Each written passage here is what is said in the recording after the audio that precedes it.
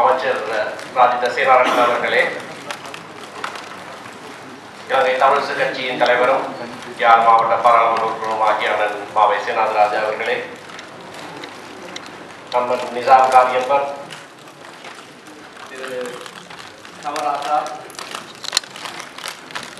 தமிழர் விடுதலை கூட்டணியின் தலைவர் ஐயா ஆனந்த சங்கரி ரவிராஜ் அவர்களுடைய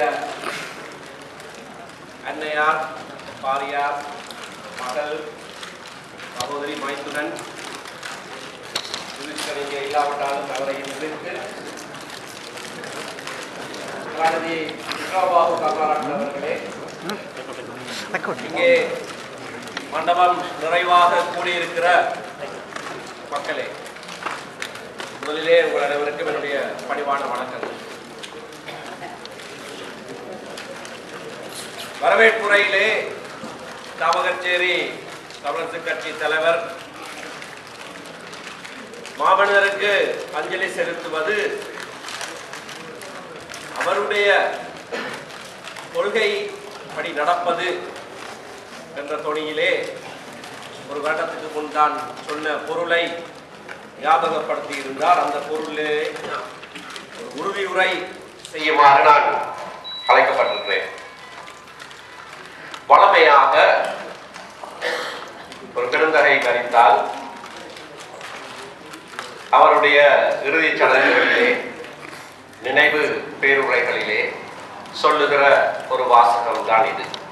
அவருக்கு நாங்கள் செய்யக்கூடிய அஞ்சலி அவருடைய கொள்கைப்படி நடப்பது என்பது. ஆனால் வெறுமனே அப்படியாக சொல்லிவிடாமல் ரவிராஜினுடைய விசேஷித்த கொள்கை. நாங்கள் அனைவரும் விசேடமாக தமிழ் தேசிய கட்சிகளிலே அங்கம் வகித்தவர்கள் வகிக்கிறவர்கள். பொதுவாக ஒரு கொள்கையிலே இருக்கிறவர்கள். ஆனால் அதற்கும் அப்பால் இவருக்கென்று தனித்துவமான ஒரு கொள்கை இருந்ததா? இவரை நினைக்கிற போது எது எங்களுக்கு ஞாபகம் வருகிறது? அந்த கொள்கை என்ன? அது இன்றைக்கு எப்படி பொருத்தமானதாகும்? அதை பின்பற்றி நாங்கள் வாழலாமா?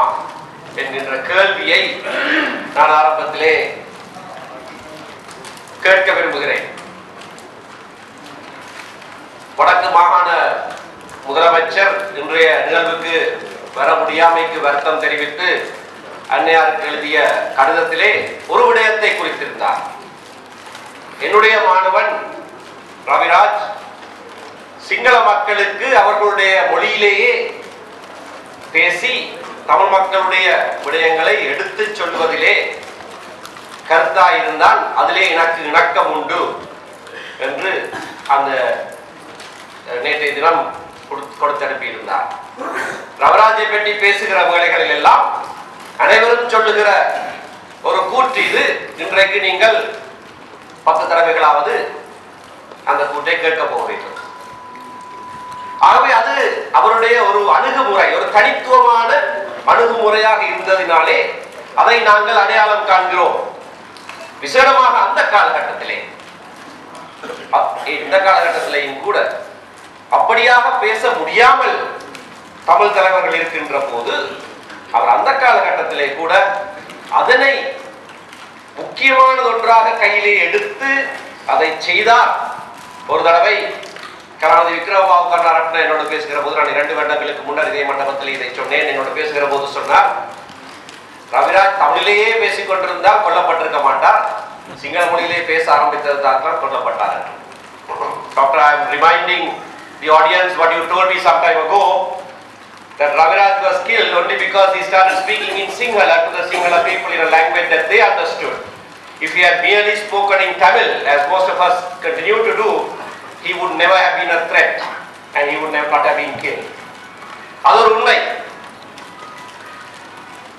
பொய்யான வதந்திகளை நம்பி தமிழ் மக்கள் உண்மையிலேயே எதை கேட்கிறார்கள் நியாயத்தை கேட்கிறார்கள் அவர்களுக்குரியதைத்தான் கேட்கிறார்கள். எங்களிடத்திலே இருக்கிறதை பறிப்பதற்கு அவர்கள் முனையவில்லை என்கின்ற செய்தியை சிங்கள மக்கள் மத்தியிலே எடுத்துச் சொல்லுவது சிங்கள அரசியல் தலைவர்கள் பலருக்கு இங்கே இருக்கிற சிலரை நான் சொல்லவில்லை பலருக்கு அது பரிச்சயமான தேவையான ஒரு அரசியல் போக்காக இருந்திருக்கிறது இன்னமும் இருந்து கொண்டிருக்கிறது. ஆகையினால் தான் அவர்கள் மத்தியிலே சென்று நாங்கள் கேட்பது உங்களுடைய உரிமையே அல்ல. நாங்கள் கேட்பது உங்களுக்கு சமனான எங்களுடைய உரிமை தான் என்று சொல்லுகிறது அவர்களுக்கு அச்சமாக இருக்கிறது. ஏனென்றால் அப்படி சொல்லுகிற போது நியாயமாக சிந்திக்கின்ற சிங்கள மக்கள் சிங்கள மக்களிலே பெரும்பான்மையாக இருப்பாளுகிறவர்கள் நியாயமாக சிந்திக்கிறவர்கள் எல்லா சமூகங்களிலேயும் பெரும்பான்மையான மக்கள் நியாயமாகத்தான் சிந்திக்கிறவர்கள். நியாயமாக சிந்திக்கிற சிங்கள மக்கள் அவர்கள் சொல்லுவது சரிதான். எங்களிடத்திலிருந்து எதையும் அவர்கள் பறிக்கவில்லை. அவர்கள் நாங்கள் ஒரு மக்களாக என்ன உரித்தை வைத்திருக்கிறோமோ அதே உரித்தை சம உரித்தை அவர்களும் இந்த நாட்டிலே வைத்திருப்பதற்கு அவர்கள் கேட்கிறார்கள். அதிலே என்ன தவறு என்று அவர்கள் நினைக்க தொடங்குவார்கள். அப்படி நினைக்கிற போதுதான் இன சமத்துவம் நாட்டிலே உருவாகும். அப்படி நினைக்கிற போதுதான் எண்ணிக்கை அல்ல பெரிது. ஜனநாயகம் என்பது தலைகளை எண்ணுவது என்று சிலர் சொல்வார்கள் அது தவறான கூற்று. எண்ணிக்கையிலே அதிகமானவர்களாக நாங்கள் இருக்கிற காரணத்தினாலே எங்களுடைய அந்த பலத்தினாலே அவர்களை அடக்குவது தவறு. அவர்களும் ஒரு மக்களாக தங்களுடைய தனித்துவத்தை தங்களுடைய பிரதேசங்களிலே அவர்கள் நிலைநிறுத்தி தங்களையே ஆளக்கூடிய விதத்திலே வாழுவதிலே என்ன தவறு என்று நியாயமாக சிந்திக்க ஆரம்பிப்பார்கள். அது ரவிராஜ் ஆரம்பித்த ஒரு பயணம். அது மட்டுமல்ல இந்த அணுகுமுறை இந்த அணுகுமுறையை அவருடைய கொள்கை என்று நான் சொல்லிவிடவில்லை. அவர்களுடைய அவருடைய கொள்கையிலே அவருடைய கொள்கை என்னவென்று நாங்கள் அறிந்து கொள்வதற்கு உதவியான ஒரு நடத்தை தான் இந்த அணுகுமுறை. இது எதை காட்டியது? எதிரி என்று நினைத்திருக்கின்ற மக்களை கூட நாங்கள் அவர்களோடு பேசி பழகி அவர்களுடைய மனதை வெல்லலாம்.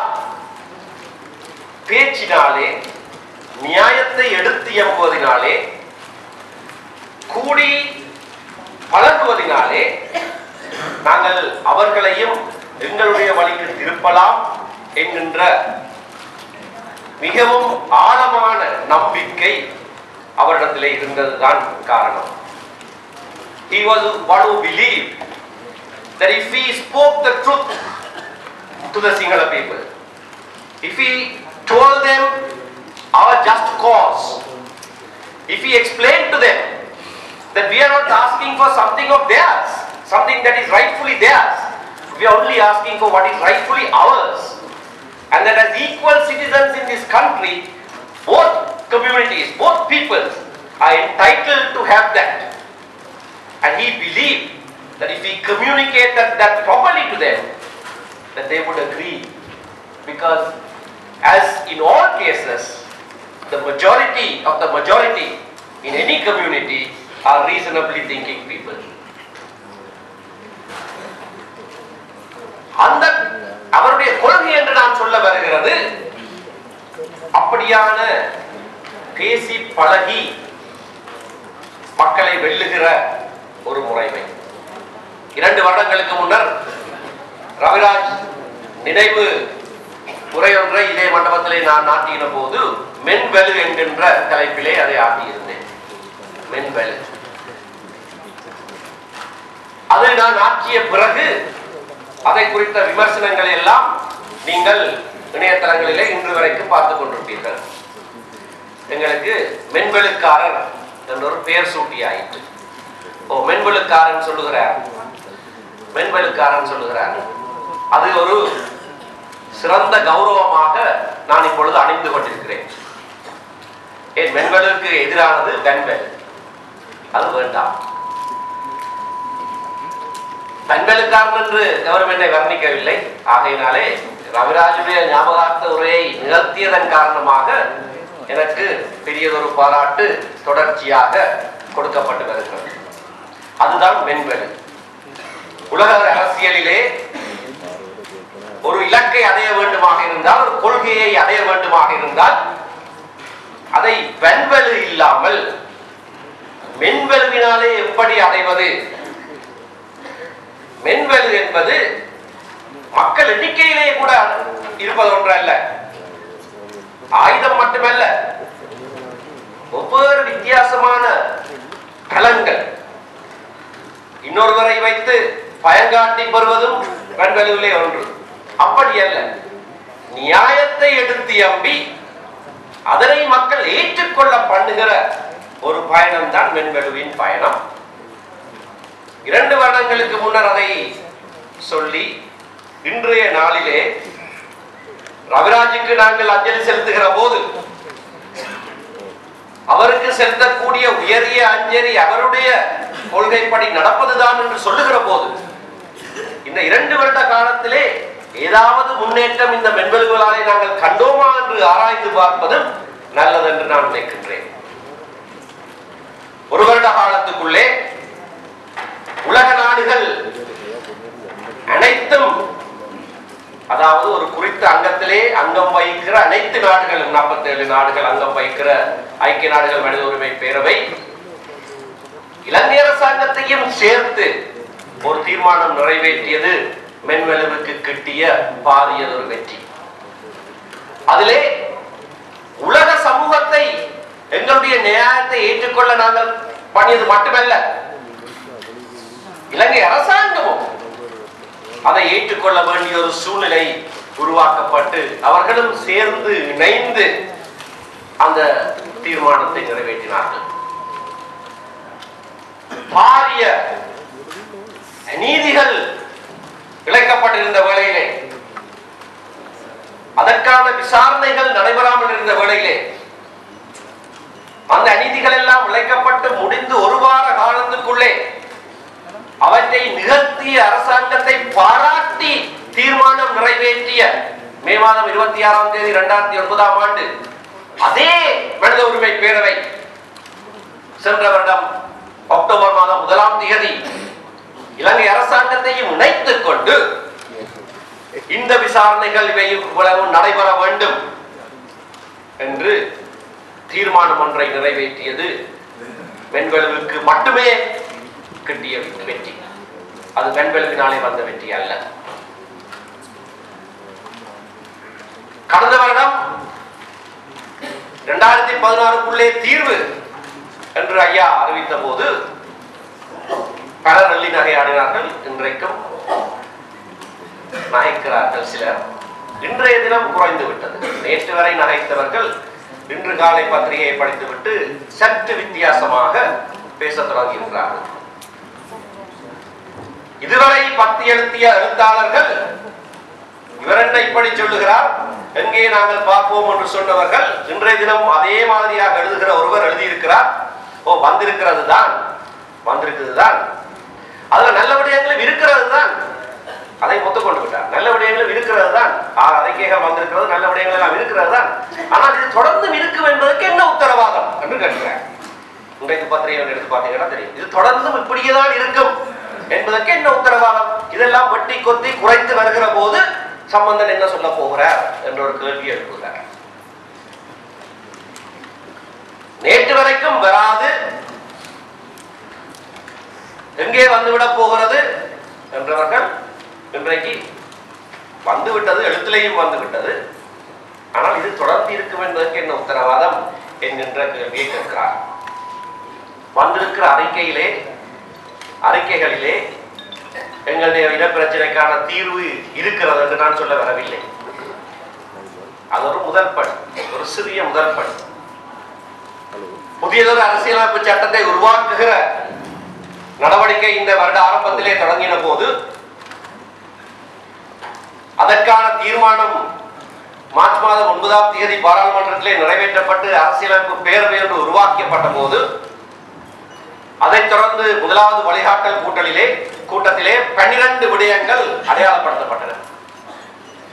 அந்த பன்னிரண்டு விடயங்களிலே ஆறு விடயங்கள் ஆறு உபகுழுக்களுக்கு பொறுப்பாக கொடுக்கப்பட்டது. மற்ற ஆறு விடயங்களையும் வழிநடத்தல் குழு தானாக அதை குறித்து பேசி கலந்துரையாடி ஒரு முடிவெடுப்பதற்கு என்று தீர்மானிக்கப்பட்டது. ஆறு உபகுழுக்களுடைய அறிக்கை வந்திருக்கிறது. வருகிற பத்தாம் தேதி வழிகாட்டல் குழுவினுடைய இடைக்கால அறிக்கை வெளிவரும். அந்த மிகுதி ஆறு விடயங்களை பற்றி. இவை முடிவல்ல. இவை இடைக்கால அறிக்கை தான். ஆனால் எப்படியாக வெளிவந்திருக்கிற இடைக்கால அறிக்கை? இந்த வழிகாட்டல் குழு நாற்பது தடவைகள் கூடியிருக்கிறது. இந்த குறுகிய காலத்துக்குள்ளே மார்ச் ஒன்பதாம் தேதிக்கும் இன்றைக்கும் இடையிலே நாற்பது தடவைகள் நாற்பது கூட்டங்கள் நடந்திருக்கின்றன.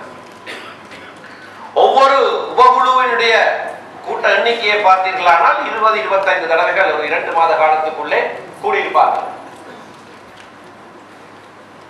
எங்களுடைய பாராளுமன்ற உறுப்பினர்கள் பலர் அந்த பல்வேறு உபகுழுக்களிலே அங்கம் வகித்தவர்கள். எல்லா கட்சிகளுடைய உறுப்பினர்களும் எல்லா உபகுழுக்களிலேயும் அங்கம் வகித்தவர்கள். மஹிந்த ராஜபக்சத்துக்கு தலைமையாக இருக்கின்ற அணி கூட கௌரவ மதுர குணவர்தன ஒரு உபகுழுக்கு தலைவராக இருந்து அவரும் கைச்சாத்திட்டிருக்கிறார் இவைகள் எல்லாம் கொடுத்திருக்கிற அறிக்கையை படித்து பார்த்தால் அதிலே பல விடயங்கள் இருக்கக்கூடும். ஆனால் எங்களுக்கு தேவையான விடயங்கள் அதிலே இருக்கின்றனவா? என்ற ஒரு கேள்வியோடு அதனை அணுகினால் ஆம் இருக்கிறது என்கிறதை தவிர வேறு பதிலுக்கு நாங்கள் வர முடியாது. பிரச்சனைகளான விஷயங்கள் பல இருக்குது. ஆனால் ஒட்டு மொத்தமாக பார்க்கிற போது ஒரு அர்த்தமுள்ள அதிகார பகிர்வுக்கான பரிந்துரை அதில் இருக்கிறதா என்று பார்க்கிற போது ஆம் இருக்கிறது. இது எப்படி சாத்தியமானது. சென்ற வருடம் அப்படி சாத்தியமானது. மென்வெளிவினாலே தான் சாத்தியமானது. இன்னும் நீண்ட தூரம் பயணிக்க வேண்டியதாக இருக்கிறது. இதோடு முடிந்து விட்டது என்று எவரும் சொல்லவில்லை. அந்த பத்து எழுத்தாளர் இன்றைக்கு சொன்னதை போல இதெல்லாம் தொடர்ந்து இருக்கும் என்பதற்கு என்ன உத்தரவாதம்? உத்தரவாதம் இல்லை. ஆனால் தொடர்ந்து வைத்திருக்கலாம். இந்த இரண்டு வருட காலத்திலே நாங்கள் மீளாய்வு செய்து பார்க்கிற போது ஒரு மென்வெளுவை நாங்கள் கடைபிடித்திருக்கிறோம் அதனுடைய வெற்றி தான் இது. மென்வெளுவை பிரயோகித்து கிடைக்கிற வெற்றி திடுதிப்பட்டு வந்துவிடார்கள் அடுத்த நாள் கிடைத்து விடாது. நீண்ட நாள் எடுக்கும். ஆனால் நிச்சயமாக வெல்லும். அது தோற்க முடியாது. ஏனென்றால் அதனுடைய அடிப்படையே நீதி நியாயம். அந்த நீதியையும் நியாயத்தையும் வலியுறுத்தி செல்லுகிற ஒரு அணுகுமுறையாக இருக்கிற காரணத்தினாலே அது ஒரு காலமும் தோற்க முடியாதது அந்த அணுகுமுறை தோற்காது அது மாற்றானுடைய மனதிலேயும் இருக்கிற நல்ல விழுமியங்களை வெளியே கொண்டு வருகிற ஒரு அணுகுமுறை அப்படியான ஒரு அணுகுமுறையை உபயோகித்தார் ரவிராஜ்? அது மென்வலுவிலே அவருக்கு இருந்த கொள்கை பற்றி எடுத்து காட்டியது நாங்கள் இன்றைக்கு இதுவரைக்கும் முன்னேறி இருக்கிறோம். இது முன்னேற்றம் இல்லை என்று அவரும் சொல்ல முடியாது. ஆனால் இறுதி வரை நாங்கள் இந்த பயணத்தை தொடர வேண்டும். அதற்கு அவருடைய அந்த இலட்சியத்தை அடைவதற்கு அவருடைய அந்த அணுகுமுறையை பின்பற்றுவதுதான். அதன் மூலமாக அவருடைய கொள்கையை நிறைவேற்றுவதுதான் அவருக்கு நாங்கள் செய்கின்ற பயன்மிக்க அஞ்சலியாக இருக்க முடியும். அவரை பெற்றெடுத்த தாயாரும் துறைவியாரும் மகளுக்கும் சகோதரிக்கும் பத்து வருட காலமாக அவரை விட்டு பிரிந்த துயரம். ஆனால் இன்றைக்கு அவர் நடந்த பாதையிலே அவர் காட்டிய பாதையிலே அவருடைய மக்கள் முன்னேற்றம் காணுவது ஓரளவுக்காவது ஆறுதலை கொடுக்கும் என்று நான் நம்புகிறேன். வந்திருக்கிற பிரமுகர்கள் உரையாற்ற வேண்டும் என்ற காரணத்தினாலே திரும்பவும் அதே வாசகத்தை சொல்லி மாமனிதருக்கு அஞ்சலி செலுத்துவது என்பது அவருடைய கொள்கைப்படி நடப்பதுதான் என்று திரும்பவும் சொல்லி நிறைவு நிறைவு செய்கிறேன். நன்றி வணக்கம்.